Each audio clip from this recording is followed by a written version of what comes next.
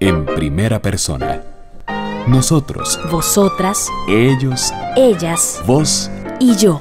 ilusiones, experiencias y reflexiones. En primera persona. Radio Universidad de Costa Rica presenta En primera persona. un programa de semblanzas con personalidades de la vida nacional.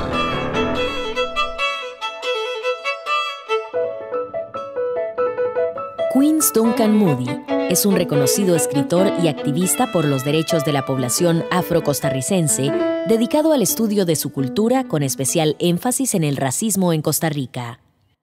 Sus reflexiones en torno a la conciencia etnorracial son plasmadas en sus escritos desde inicios de 1969, cuando circuló la colección de cuentos titulada El Pozo y una Carta, y desde entonces ha publicado más de 40 textos, entre los que se encuentran libros, ensayos y diversos documentos académicos y de investigación. Entre los escritos más relevantes en torno al tema de las relaciones étnicas y culturales destacan El Negro en Costa Rica, de 1972, coeditado con el historiador Carlos Meléndez, del que se han hecho 15 ediciones y reimpresiones. Justice for Aboriginal Australians, de 1981, editado por Elizabeth Adler y publicado por el World Council of Churches, y Teoría y Práctica del Racismo, de 1988, del cual es coautor con Lorraine Lowell. También se le reconoce su labor académica. Fue miembro del Consejo Universitario de la Universidad Nacional, UNA, director del Instituto de Estudios Latinoamericanos, IDELA, y profesor visitante en varias universidades de diferentes países.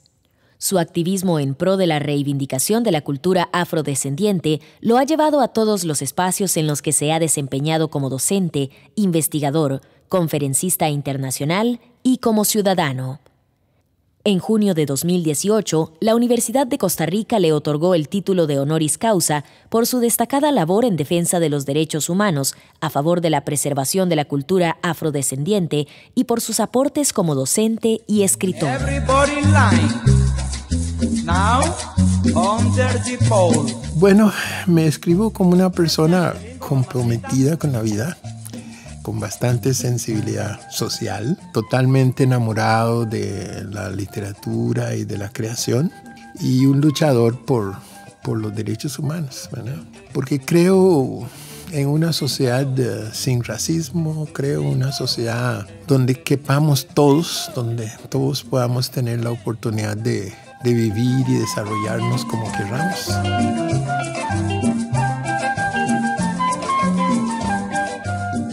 Bueno, lo de haber nacido en San José fue un accidente, eh, porque un poco, un poco porque comencé a complicarle la, la existencia al mundo antes de nacer. Entonces mi pobre madre tuvo que venir al hospital San Juan de Dios a tener chiquito y no tenerlo en la casa como sería lo, lo normal, ¿verdad? Pero bueno, no sé cuánto estuvo aquí después de, me imagino que tal vez un mes si acaso, de unos familiares o amigos. No creo que haya durado un mes. Y nos regresamos allá. De modo que la conciencia que yo tengo del mundo es a partir de Estrada, ¿verdad? Eh, entonces, este, y, y entonces eso me define. Eso me define como, como limonense, como afro-caribeño. Tengo la suerte de haberme criado en casa de mis abuelos, con, sobre todo con mi abuelo, donde estuve la mayor parte del tiempo, un espacio muy corto con mi madre en Cairo, pero que mi abuelo James Duncan, Mr. Jim, es, es para mí uno de los seres humanos más extraordinarios que he conocido en esta tierra. Y eh, ese fue el que formó mucho de mi, de mi carácter, ¿verdad? A partir, a partir de él. Eh, una madre que, bueno, como mi, mi papá murió cuando yo tenía dos años, mi madre se casa, es la madre de, de entonces de mis dos hermanos, ¿verdad? Y entonces se pasó a vivir a Cairo. Cuando mi abuelita se muere, yo me recoge, pero la cosa no funcionó. Entonces mi abuelo vino y me llevó de vuelta a Estrada y me terminó de criar los dos ahí solitos hasta que él murió. Esa relación con mi abuelo ha sido extraordinaria para mí y, y, le voy a contar.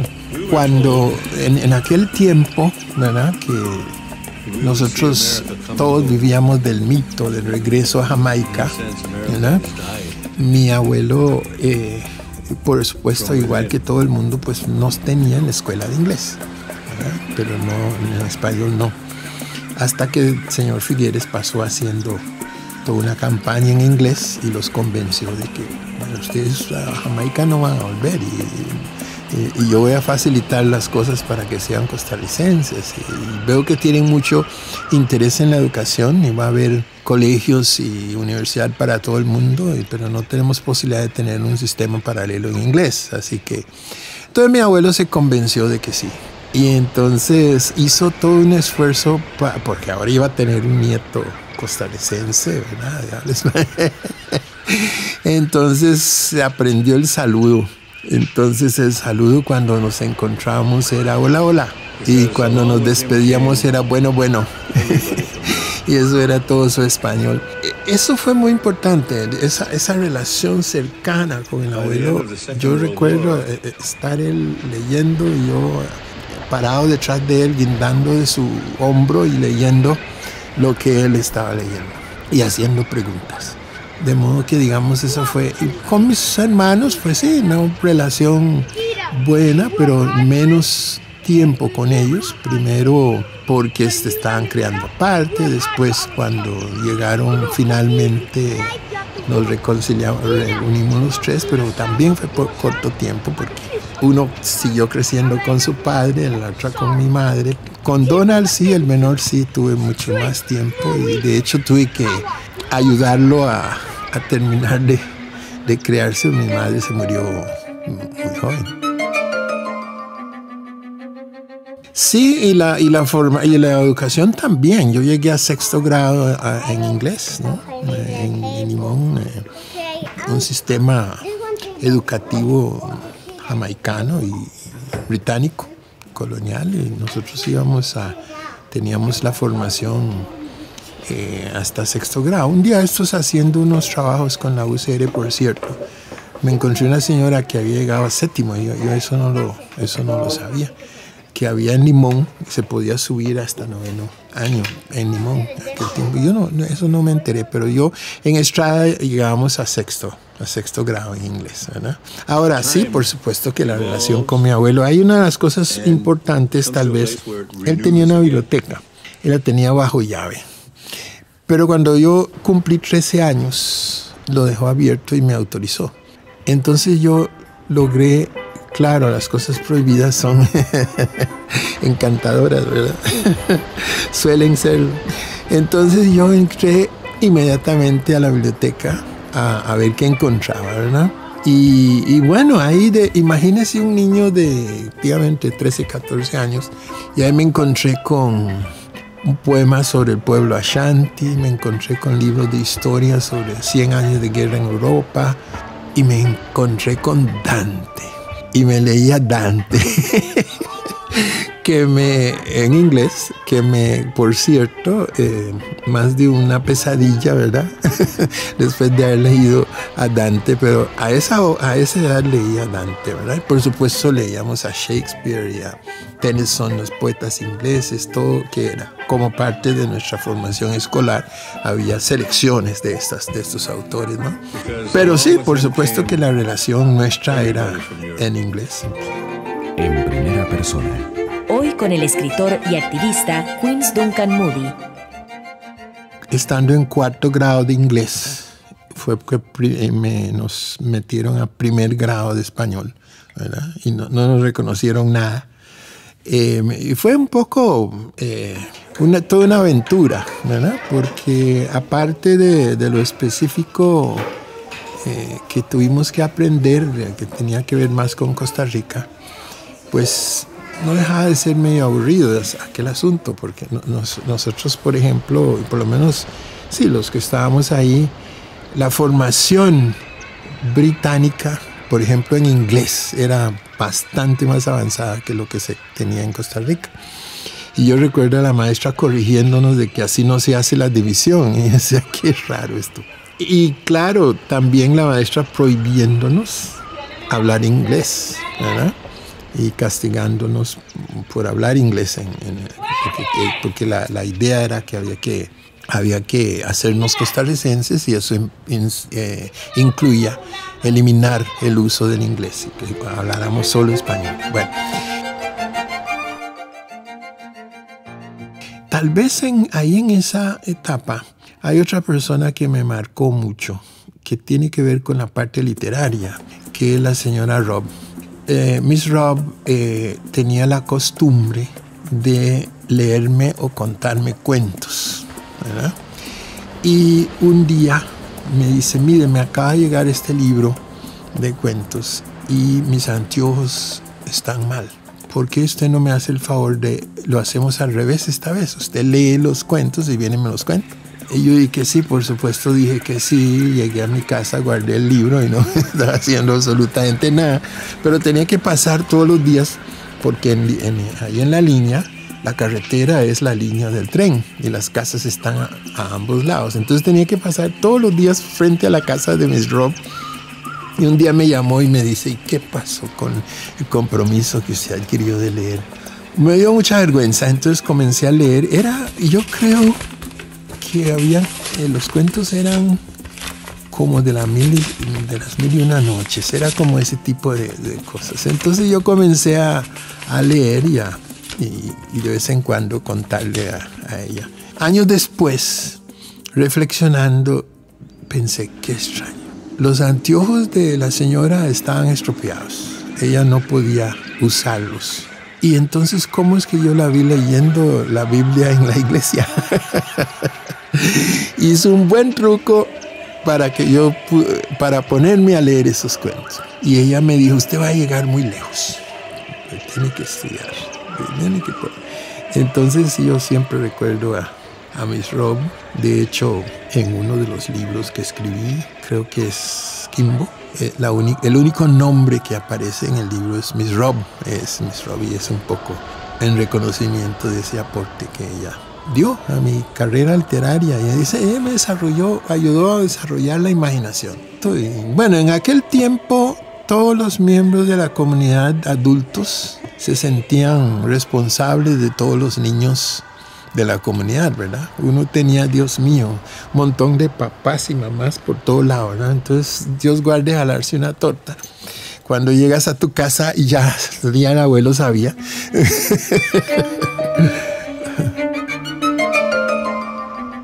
Estando eh, mi, abuelo enferma, ¿verdad? Mi, abuela había muerto ya en el 48 em, porque no pudo llegar a tiempo al hospital, pues estaba la guerra civil y estaban tiroteando a los trenes.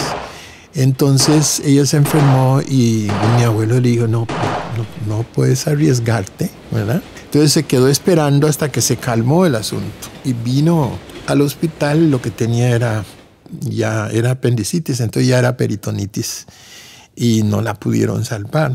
Como dije, fui donde mi madre regresé con mi abuelo. Él enferma, En los últimos dos años pasó más en cama que en cualquier otro lado. Eh, yo tuve que asumir muchas de las, bueno, no, no mucho, pero teníamos a alguien que ayudaba manteniendo la finca, pero yo tenía que ir a piar el cacao y traérmelo en las latas para poder venderlo, ¿verdad? Para subsistir. Pero entonces se, muere, se muere mi abuelo y ese es el motivo por el cual nosotros nos, nos trasladamos a San José. En ese momento yo estoy en cuarto grado de la escuela de español de los 16 años, 16 años por ahí estaba en cuarto grado. Entonces ahí nos pasamos a San José por ese motivo. Aunque mi madre tenía la intención, ¿verdad? Pues ya ella estaba en San José, estaba trabajando en un hotel como cocinera y ella hizo el objetivo fundamental de venirse a San José es porque ella quería que tuviéramos una buena educación que no se podía adquirir realmente en ese tiempo allá en, Estrada, mucho menos y tampoco en Limón, ya que la formación real que había ahí era hasta sexto grado en inglés y el gobierno estaba suprimiendo y cerrando las escuelas con todos los recursos a su haber.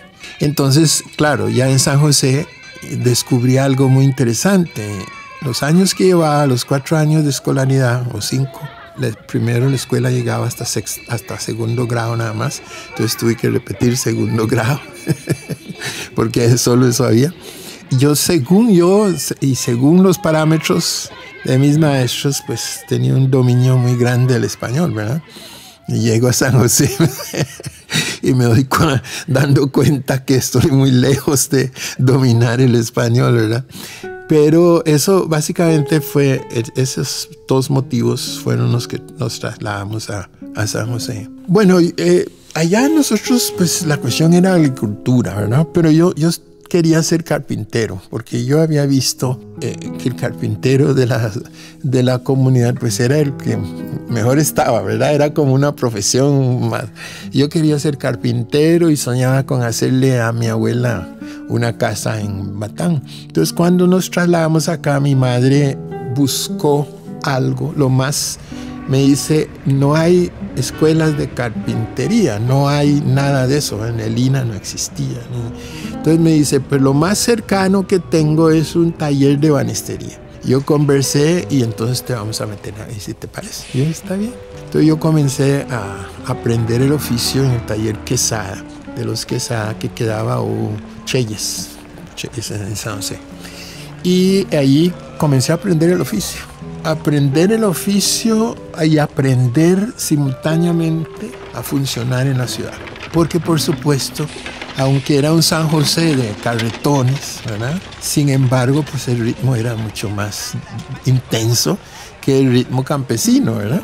Eh, eso era otra cosa y yo le agradezco y siempre le he agradecido a don Carlos Quesada que fue el que realmente me, me hizo entrar en este ritmo, ¿no? con él tú tenías un método, pero francamente yo vivo agradecido porque realmente me, ayudó muchísimo. Entonces comencé a aprender el oficio de banistería y ahí avancé bastante, ¿verdad?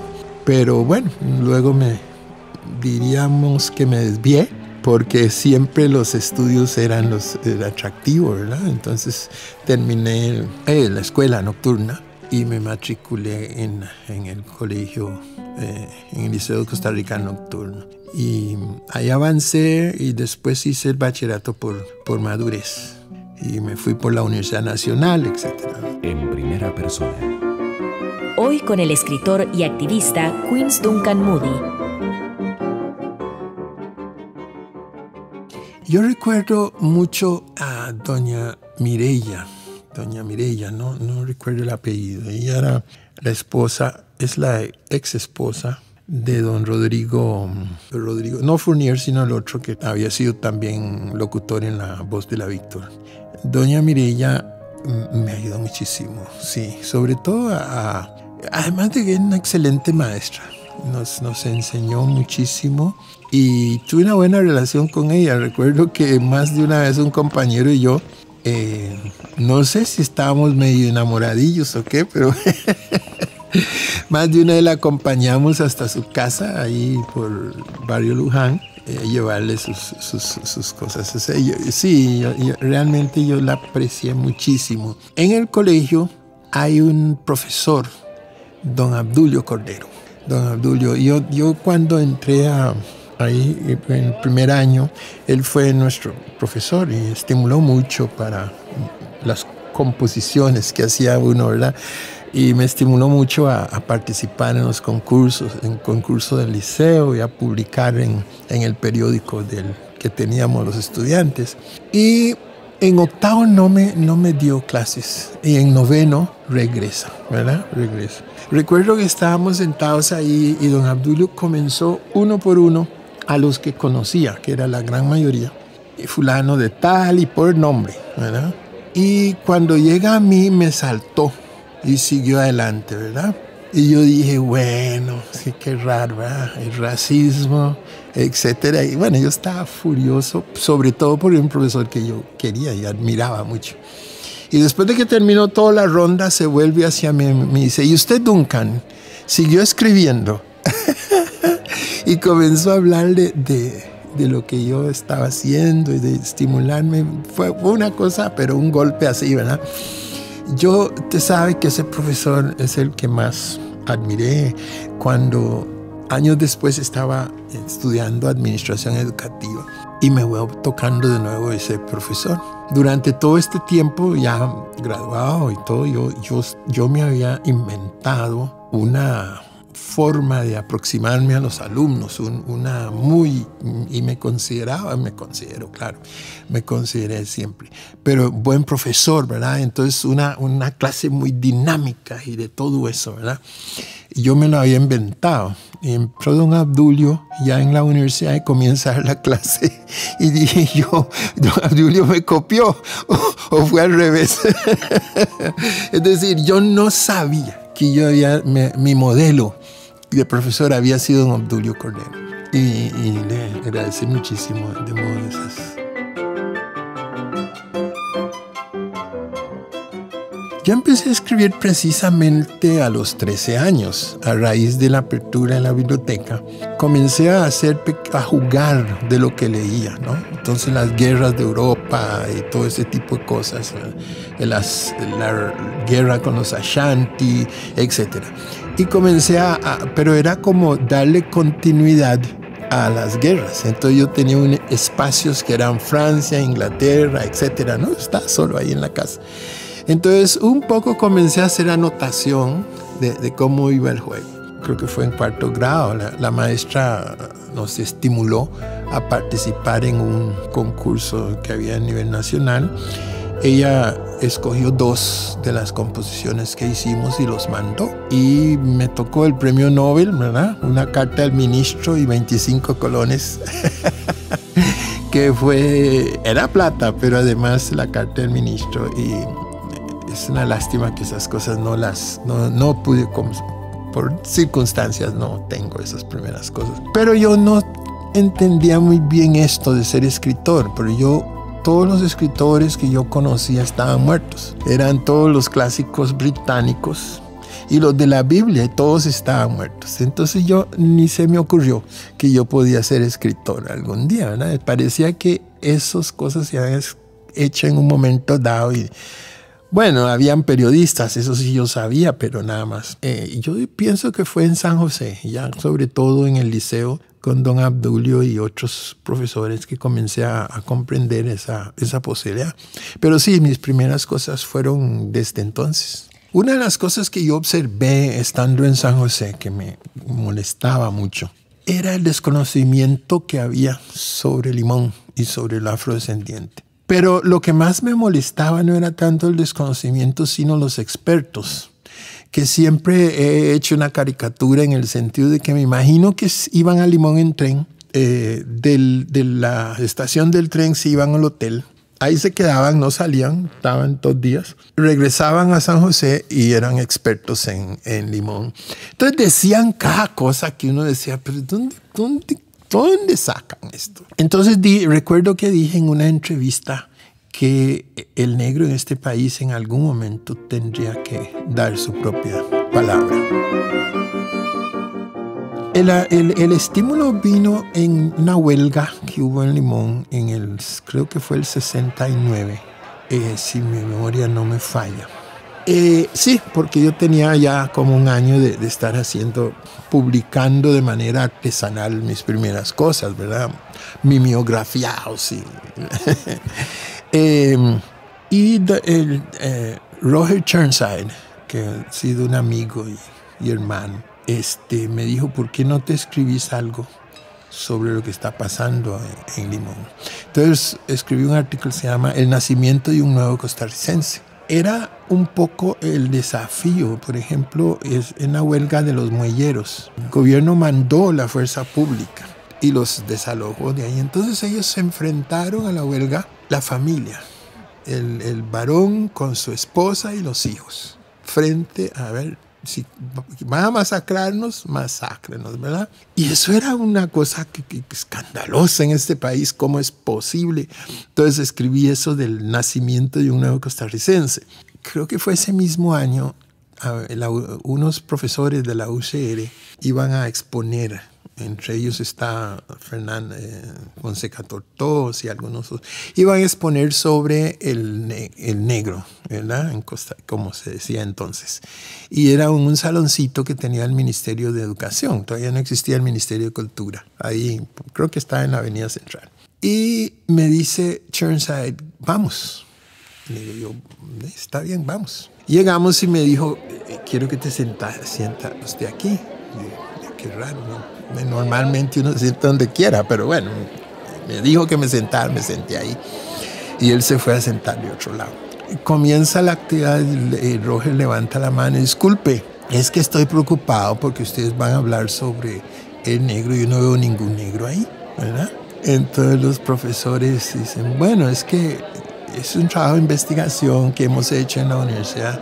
Sí, pero a mí me parece, y de repente hay otro que está en la otra esquina, un chino creo que fue, que dijo, sí, sí, yo, yo estoy de acuerdo con don Roger, porque siempre hacen eso, hablan de chino, no hay ningún chino, hablan de los negros y no hay ningún negro. Y, y el otro por ahí dice, sí, yo soy de limón. Dice, aunque no lo parezca, yo no soy negro, no soy chino, pues soy de limón, soy limonés. A mí me parece que es una barbaridad que hablan de nosotros y no hay, ¿verdad? Entonces, señor Fonseca dice, bueno, es que no tenemos a nadie. Entonces dice Roger Churnside, dice, bueno, aquí está el joven escritor limonense Cristo Santo Cielo. Y me embarca, ¿verdad? Entonces me hicieron pasar adelante. Yo no sé, yo me imagino la cantidad de tonterías que habré, habré dicho esa noche, ¿verdad? Pero ahí dije, esto no me vuelve a pasar. A partir de ahora voy a ser el que más, sepa sobre el tema. Entonces volqué mis lecturas prácticamente en, a eso, ¿verdad? Y me puse a estudiar la historia, la cuestión del racismo y poco a poco me fui comprometiendo en el asunto.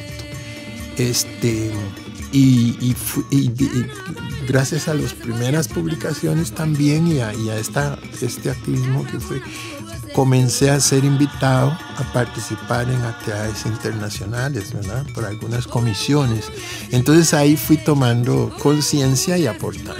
Realmente, como conté, comencé a a estudiar el tema ya en, de manera formal a partir de esa experiencia en el 69, a participar.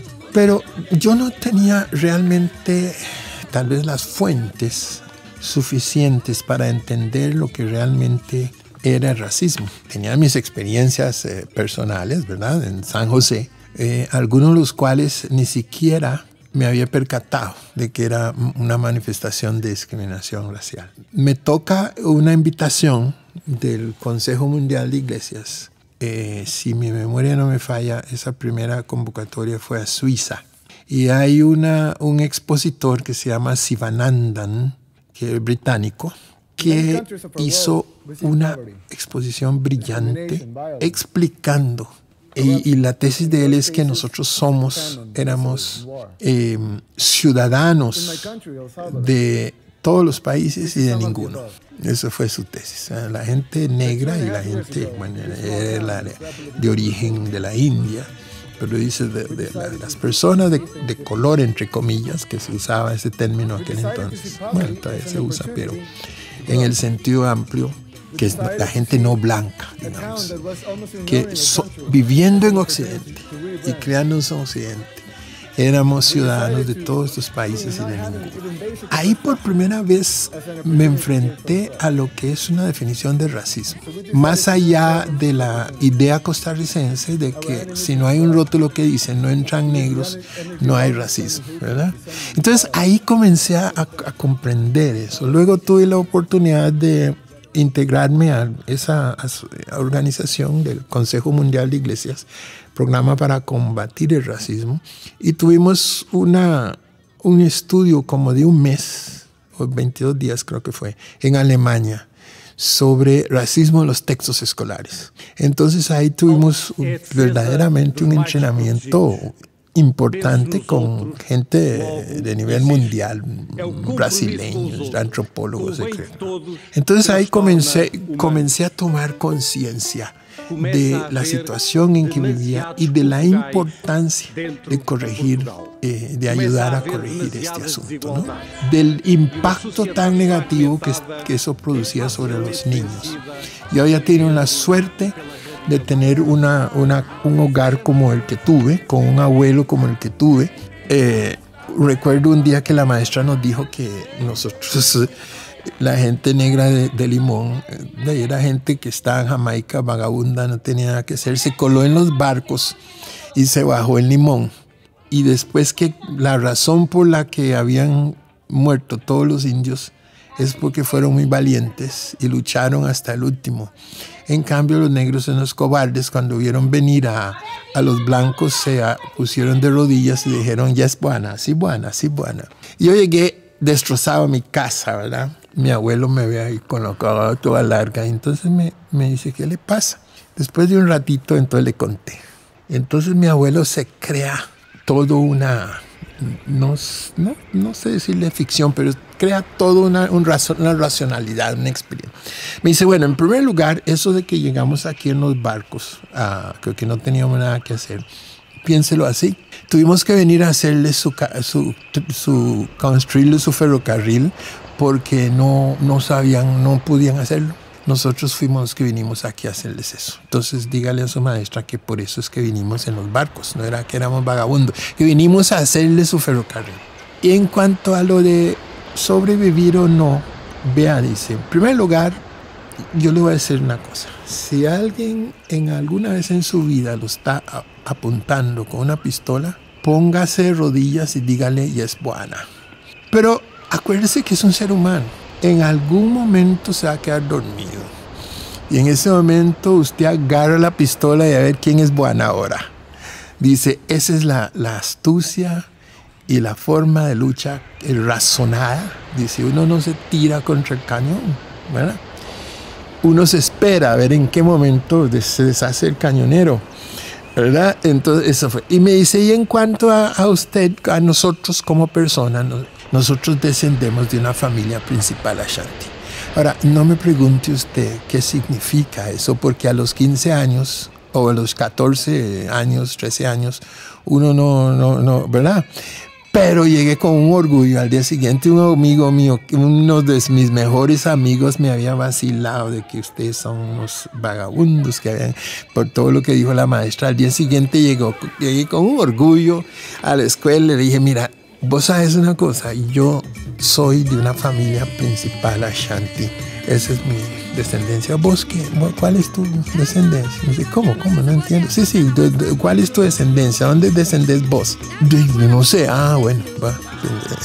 Entonces, yo tuve esa suerte de tener esa formación en, en, casa, ¿no? Pero no, es, no era la generalidad. Entonces había mucha gente que ya en contacto con la escuela costarricense fue muy duro porque no solo era la pérdida de la cultura, sino pues había como un esfuerzo por acomplejar al grupo. Yo, yo seguí adelante y finalmente me hice educador.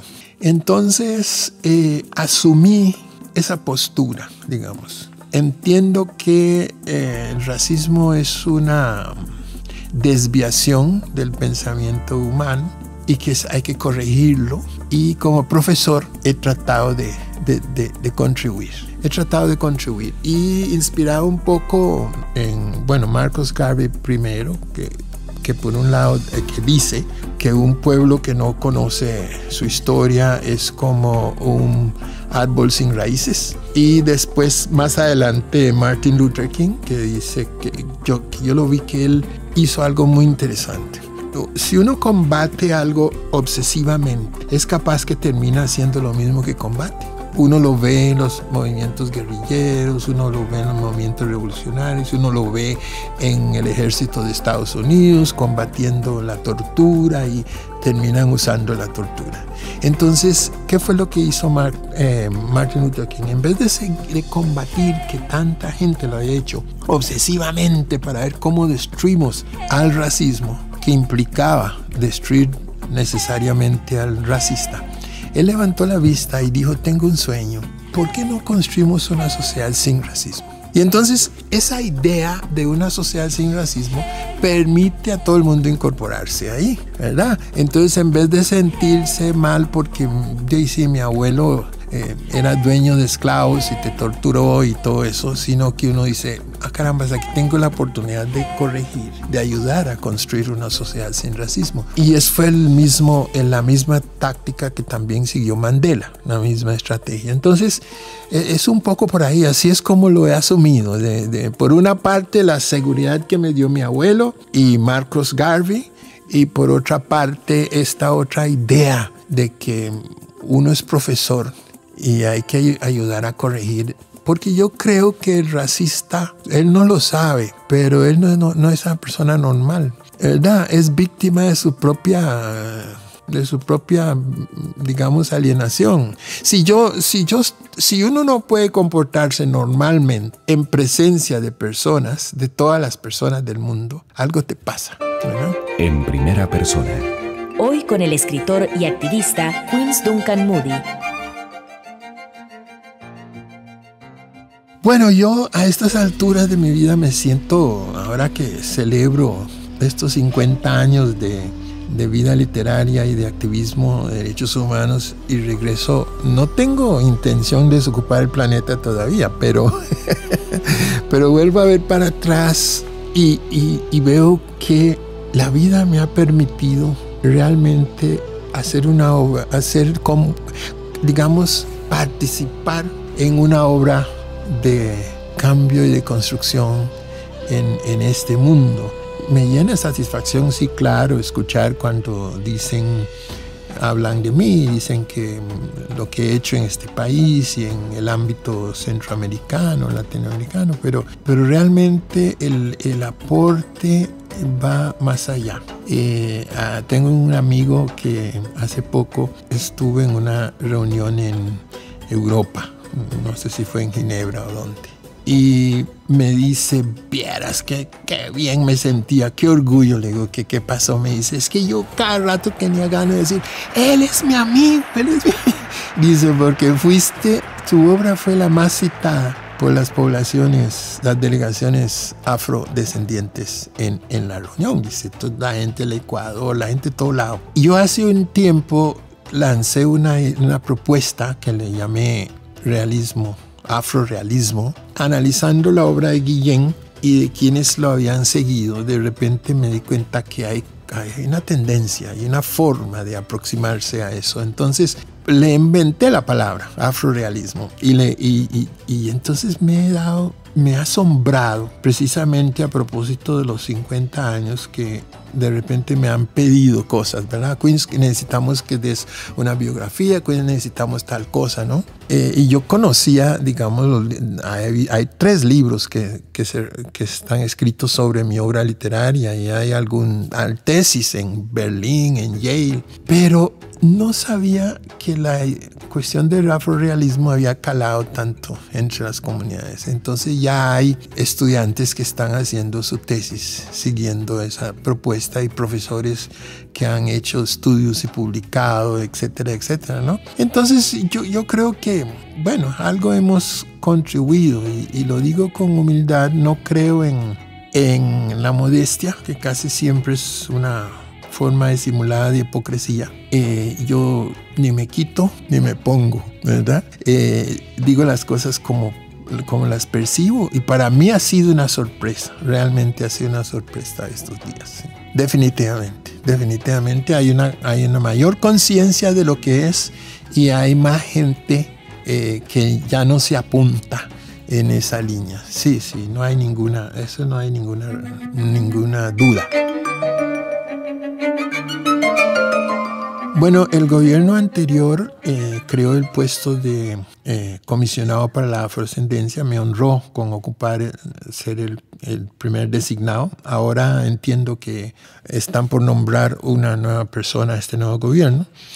La, el MEP tiene una comisión de estudios afro, creado desde el tiempo de, de Abel Pacheco, creo que fue que, que, ha tenido, ha sido un sub y baja, ¿verdad? Pero que en los últimos años, en la última, no, chinchilla más bien, eh, don Leonardo finalmente aceptó reactivar la comisión y durante la administración doña Sonia Marta y doña Alicia Vargas lo permitieron, pero le dieron una gran trascendencia. Entonces tuvimos la oportunidad de participar en la revisión del programa de estudio, eh, tuvimos la oportunidad de desarrollar todos unos talleres que todavía nos faltan dos, reuniendo grupos de profesores en todo el país para conversar sobre este tema. También tuvimos la oportunidad de, eh, trabajar junto con una compañera, Mónica, este, con la corte. Estuvimos también todo un año trabajando con agentes de la justicia. Yo siento que eso es lo que más interesa, ¿no? De promover ese contacto, porque si bien es cierto el racismo no es producto de la ignorancia, porque sabemos nosotros que fue creado en el periodo de la ilustración con las mentes más brillantes de Europa, se dedicaron a, desarrollar la teoría para justificar la dominación del mundo. Pero no podemos ah, ignorar que también muchas veces su aplicación o su, sí, la forma de conducta personal muchas veces es, es, ignorancia también, ¿verdad? O sea, no, no es que se creó por ignorantes, sino, pero no podemos aceptar que hay mucha gente que no, que no, no se percata. Y como el racismo hoy en día es una cosa estructural, eh, muchas de las cosas que se hacen es porque siempre se han hecho así y no veo ninguna razón para cambiarla.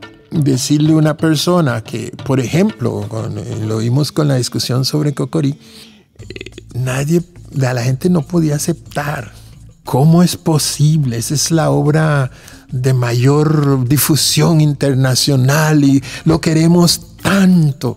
Yo escuché a la expresidente Chinchilla hacer un magnífico discurso sobre, en una vez que se, le invitó al Teatro Nacional a la celebración del Día del Negro, del Día de la Persona Negra, y terminarlo diciendo, ¿y cómo no vamos a amar a los negros si aprendimos a amarlos en ese hermoso libro que es Cocorí. Y yo pensaba, Dios mío, yo no quiero que vean a mis nietos como él.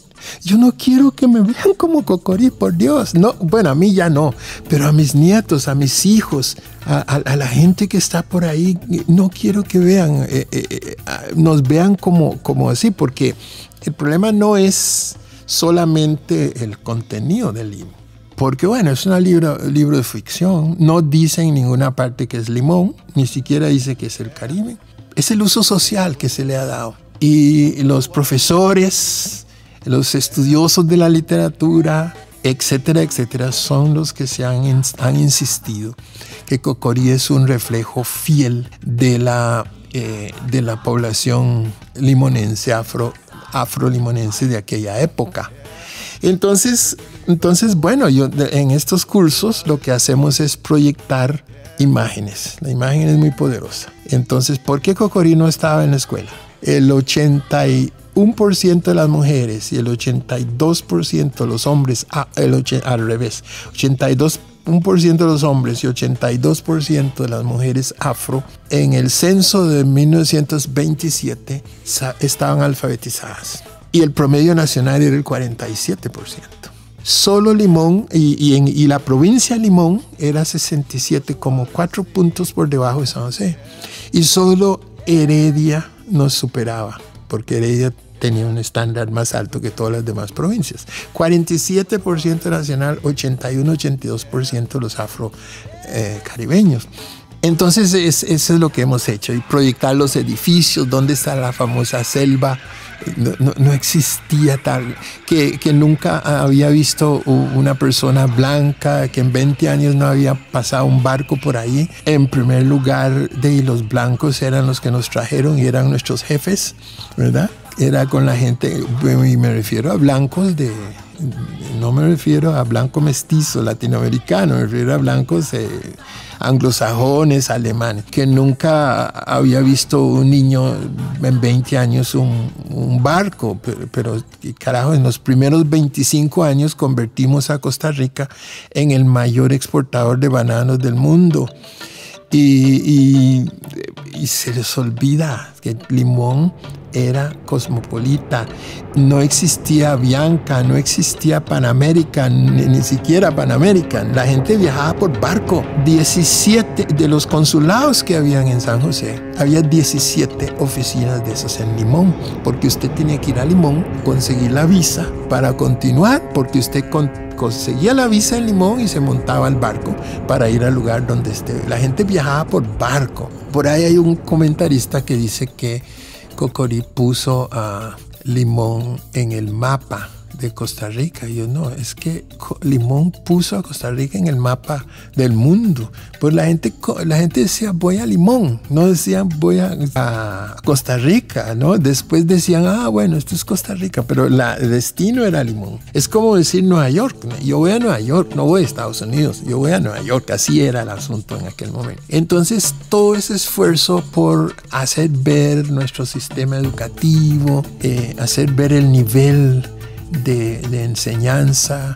Eh, muchos de, los, de, los, de la población limonense tenían una formación educativa incluso más alto que sus países de origen, eh, porque, bueno, necesitaban eso para, porque era una comunidad que se movilizaba de migrantes de un país a otro y en algunos países como Estados Unidos tenías que leer, saberles, escribirle, ¿verdad? Entonces había todo ese afán de, de entrenar a la gente. Los poetas y escritores de la época, Alderman Johnson, por ejemplo, eh, y, y, muchos otros. Eh, eh, es decir, la vida cultural, los grupos de jazz que venían de New Orleans a, a, a tener su performance ahí en Limón. Eh, la participación de, de, los limonenses y caribeños en, en, toda esa, esa cultura del Gran Caribe, ¿verdad? Entonces, no tiene nada que ver con Cocorí. Entonces está bien, si quieren ver a Cocorí como una cosa muy linda, perfecto, no se trata de censurar el libro, pero por favor no lo usen en primaria para enseñar a los, nuestros niños que así era Limón o que así somos los negros o si somos los afrocaribeños, porque nunca existió un lugar como ese en el Caribe. No, no, no, normalmente el libro que más quiero es el que estoy escribiendo. Bueno, no debería hacerlo, pero voy a anunciar, estoy haciendo una trilogía de tres novelas históricas sobre Costa Rica para la celebración de los 200 años, desde un punto de vista de la población.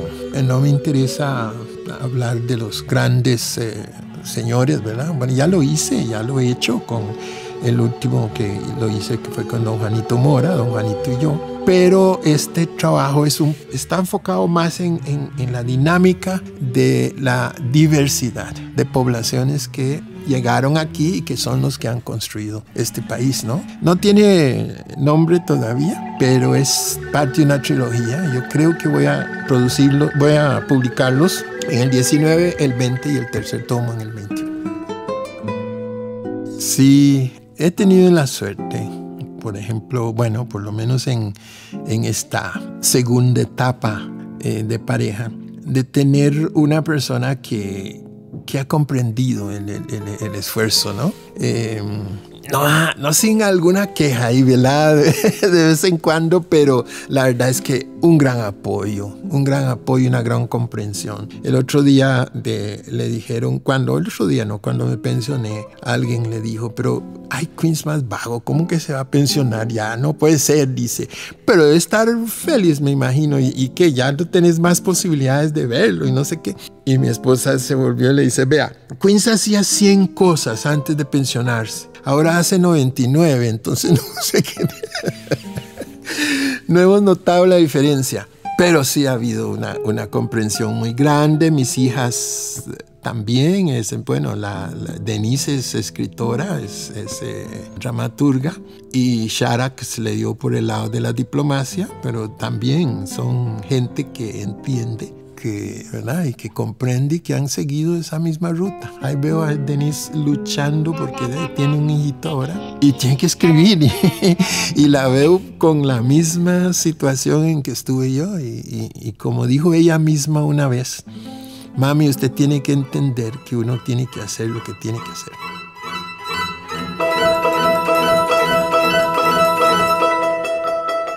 Bueno, tengo varios, pero la relación es con el último. Pues son dos matrimonios. La relación cercana, los otros incluso viven fuera del país. Hay una que. Pero la relación cercana es con este otro que también vive fuera del país, pero es con de mis hijas, ¿no?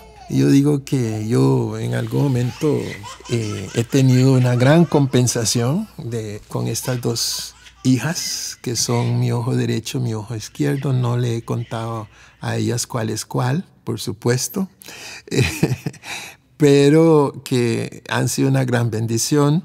Y ahora pues Hans, Hans, que estuvimos allá, estuve un mes y ahora viene también, va a estar 22 días con nosotros. Viven en Barcelona.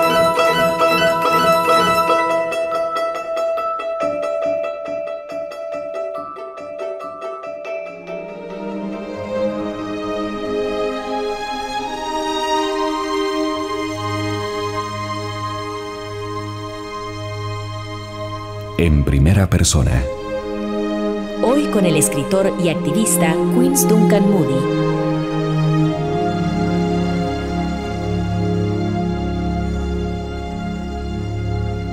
Lo que tenemos que hacer es tener una visión, una postulación clara con la sociedad que queremos construir. si nosotros enfatizamos, como hace sectores de la prensa, todo lo malo, atraemos lo malo. Si queremos una sociedad mejor, tenemos que visualizarla, como hizo Martin Luther King. Tenemos que tener un sueño y trabajar hacia el logro de ese sueño. Yo pienso que ese es el, mensaje que me gustaría compartir con, con la juventud. Mire, el arrepentimiento no vale la pena. Lo que ha pasado, ha pasado. Si uno cometió algún error, lo que debe hacer es tratar de enmendarlo. Pero el arrepentimiento es como un lamento. Y yo estoy convencido de que las cosas que hice y las decisiones que tomé en aquel momento me parecían las correctas.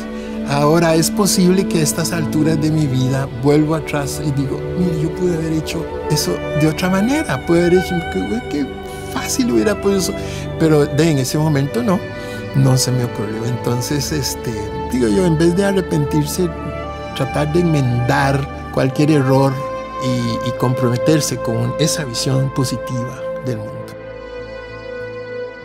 Como una buena persona, que se comprometió con el ser humano, como un educador que dio todo lo que pudo por sus, hijos y con un escritor que buscó sinceramente eh, crear aquellas obras que pudieran ser, contener mensaje, pudieran ser de utilidad para, para la humanidad, no solo estética, sino también en cuanto a contenido. Yo creo que eh, a veces se habla de que debemos tolerarnos, pero yo creo que hay una escala de convivencia. La tolerancia es solo el primer piso. Eh, normalmente toleran los poderosos a los débiles, ¿no?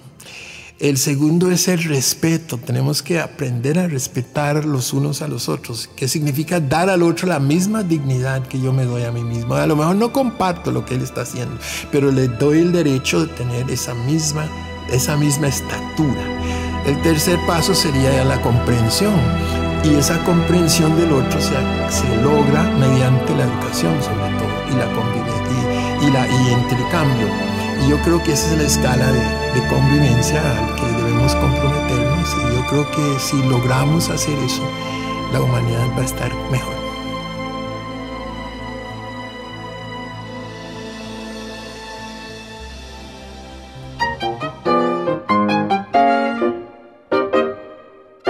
Radio Universidad de Costa Rica presentó En Primera Persona, un programa de semblanzas con personalidades de la vida nacional. Grabación, musicalización y edición, Fernando Mora. Producción, Liliana Solís.